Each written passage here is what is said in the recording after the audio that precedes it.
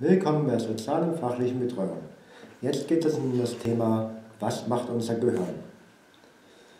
So, das Gehirn sitzt gut geschützt in der knöchernen Schale des Schädels. Es ist ein ja, wappeliges Gebilde, das aus vielen Millionen Nervenzellen besteht, leistungsfähiger als der modernste Rechner. Diese sind untereinander auf vielfältige Weise verbunden. Ein ja, dicker Nervenstrang, ähm, das Rückenmark liegt innerhalb der Wirbelsäule, vom Gehirn aus den Rücken hinab, also geht bis runter des Körpers, durch die Wirbelsäule. Im Rückenmark laufen alle Nerven aus dem Körper zusammen. Es stellt also die Verbindung zwischen dem Gehirn und den einzelnen Körperteilen her, also die Organe. Über die äh, Nervenleitung erfährt das Gehirn jederzeit, was im Körper gerade geschieht. Und auch, was die Augen, Ohren, Nase, Zunge und Haut, die Sinnesorgane von unserer Umgebung zu berichten haben. Das Gehirn sammelt alle diese Meldungen, ordnet sie und wartet, äh, äh, ja, wertet sie auf. Dann schickt es seine Befehle über die Nerven wieder an den Körper an die Muskeln und die Organe. Das Gehirn ist also die oberste Kommandozentrale unseres Körpers. Woher kommen die Gedanken? Das Gehirn, nein, bitte, der Knochenbrecher hier.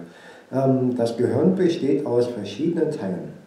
Der obere äußere Teil ist beim Menschen im Vergleich zu den Tieren ganz besonders stark entwickelt. Man nennt ihn das Großhirn. Dessen äußerste starke gefeildete Schicht ist die Hirnrinde. Hier werden nicht nur die Nachrichten von den Sinnesorganen empfangen, hier entstehen auch die Gedanken und die Erinnerungen.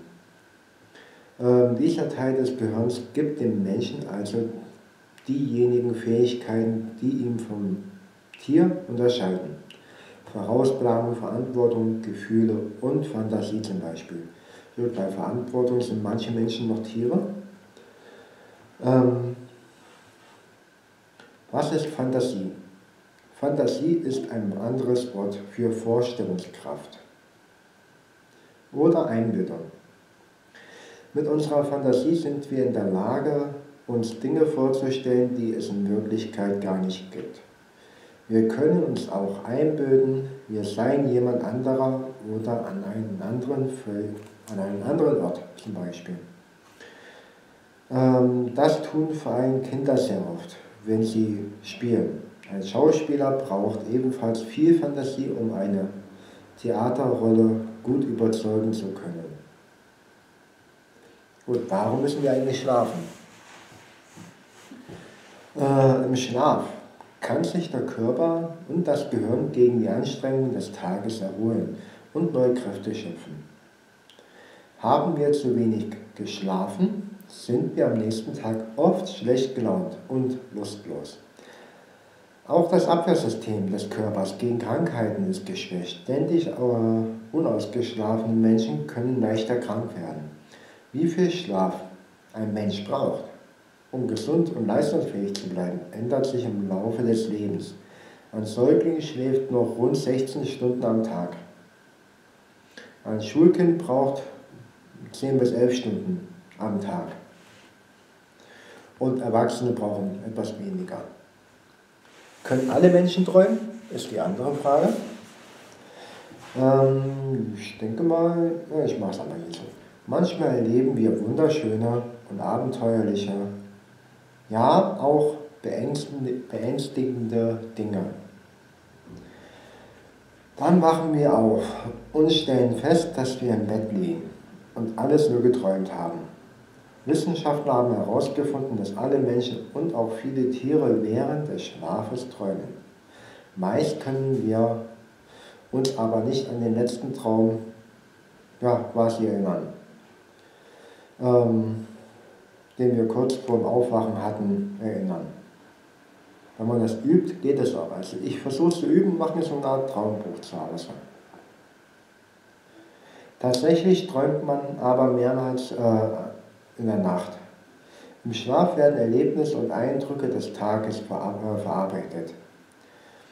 Dabei vermischten, also vermischen sich Erinnerungen und Nachwirkungen tatsächlicher Ereignisse mit Fantasie und Wunschvorstellungen. Träume stellen, äh, stehen also in Verbindung mit dem, was wir erleben oder uns wünschen. Warum tut Hinfallen ja so weh? Wäre jetzt auch zum Gehirn eine Frage. Wenn man sich verletzt, etwa die Haut abschürft, sich den Finger verbrennt oder gar einen Knochen bricht, fühlt man einen heftigen Schmerz. Ein starker Stoß oder Schlag tut ebenfalls weh. Die betroffenen Stellen des Körpers melden dabei über Nervenbahnen an das Gehirn, dass etwas nicht in Ordnung ist. Der Schmerz ist ein Warnsignal, also sollte man nicht ignorieren. Durch ihn werden wir auf eine Gefahr aufmerksam. Oft handeln die Muskeln des Körpers dann automatisch richtig. Sie ziehen zum Beispiel die Hand blitzschnell vor einer heißen ähm, Herdplatte weg.